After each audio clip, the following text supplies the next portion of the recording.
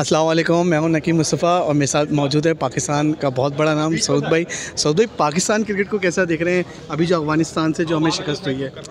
नहीं, बिल्कुल मैं देख रहा हूँ, बहुत ज़बरदस्त टीम थी और यंगस्टर्स थे। साइम तो मेरा फेवरेट हो गया है, वो बहुत अच्छा खेल रहा है। और उसने देखिए ना अब सोलह प्लेयर थे। सोलह में से अगर तीन भी अच्छे निकले हैं जैसे फास्ट फाज बोल अपना साहब। एहसानुल्लाह देखे ना। ऐसी बात नहीं है ना हमें दो अच्छे प्लेयर तो मिल गए। पहले ये था कि फिक्स थे ना बस यही खेलना है इन्हीं को देखे जा रहे हैं। अब आपको चॉइस मिल गई है आवाम को चॉइस मिली है। ठीक है ना? आपने भी दो उसमें से प्लेयर उठाए होंगे। जी सर। अब सिलेक्शन आवाम भी कर रही है। जी, तो ये अच्छी चीज़ है ये तो बहुत पॉजिटिव है। और अफ़गानिस्तान से हारना तो वो तो हमने तो अभी ये समझ लें बी टीम थी। जी जी सर। असल तो भेजे नहीं क्योंकि ज़रूरत भी नहीं है अफ़गानिस्तान से। हमें हाँ ये बहुत है अच्छा के लिए। सऊद भाई इसी में खुश हो जाए जीत के खुश हो रहा है। आज़म भाई की फिटनेस पर बहुत तनकीद हो रही है।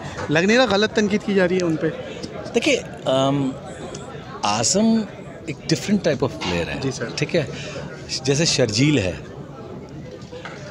उनकी बैटिंग को फोकस करें जी सर। तो वो बहुत अच्छी है। जहाँ तक कीपिंग है आज़म बहुत अच्छा कीपर है कैच भी उसने ऐसे ऐसे लिए हैं छोड़े भी हैं स्टम्प भी किए हैं तो इस पर गारंटी नहीं है। वो तो सरफराज से भी रहता है वो तो रिजवान से भी रहता है लेकिन हाँ फिटनेस होनी ज़रूरी है। इस पर तो कोई कंप्रोमाइज़ नहीं होता। लेकिन कुछ प्लेयर्स की ग्रोइंग ऐसी है। जैसे शर्जील को देखें ना आप गुड प्लेयर जी सर। लेकिन वो नहीं आप चेंज कर सकते और बहुत से ऐसे प्लेयर हैं। या आपको उस तरह ही एक्सेप्ट करना पड़ेगा। जी जी। तो मैं समझता हूँ कि आसम इज़ गुड प्लेयर और वो इस फॉर्मेट का बेहतरीन टी टेन टी ट्वेंटी का उस जैसा प्लेयर है नहीं। जी, जी। हमारे पास तीन चार तो प्लेयर हैं टी टेन टी ट्वेंटी के इन जैसे। मैं जिनको मानता हूँ आज़म है।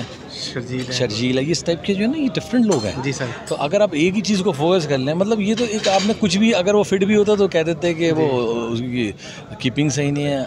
कीपिंग नहीं होती तो कहते बैटिंग सही नहीं है। तो ये तो चलता है। अब बाकियों को जिस तरह सौ चांस देते हैं ना तो दूसरे को भी तो दे के देखें सौ चांस अच्छा सऊद भाई एशिया कप पे अभी हमें क्या स्टैंड लेना चाहिए? कि भारत नहीं आता तो हम भी वर्ल्ड कप के लिए ना जाएँ? हम क्यों ना जाएँ भाई? हम डरते हैं किसी से। हम जाके मुकाबला करें। ने कहा है वहाँ जाके उनको हराना है बदला लेना है। बदला तो क्या लेना है? वो आएँगे तो बदला होगा ना? जी, जी, आ। जाएँ? खेलें? सही।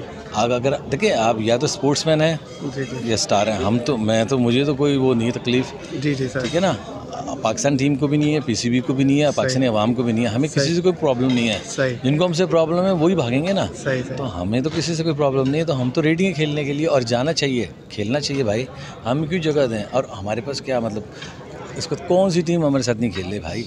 ऑस्ट्रेलिया खेल रही है न्यूजीलैंड खेल रही है। मतलब मेरे ख्याल दुनिया की कोई टीम ऐसी नहीं है जो पाकिस्तान पाकिस्तान से नहीं खेल रही। है हाँ वो अलग बात है उनके जो हैं चमचे अफगानी टाइप जी जी। उनको वो टीम ना खेले अलग बात है। लेकिन खेलेंगे सब और हम पाकिस्तानी रेडी हैं चले। बहुत बहुत बहुत शुक्रिया